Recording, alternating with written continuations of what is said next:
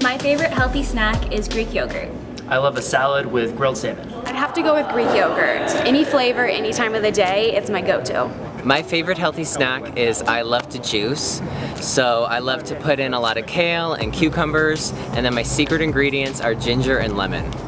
Our advice to someone that wants to live a healthier lifestyle, set goals, and then also make sure you try to be consistent. Yeah, consistency is huge. My advice is just to start. Just take it one day at a time and just try to make the best choices you can. Hey, Take it one step at a time. Make little changes and allow yourself to make mistakes because nobody's perfect.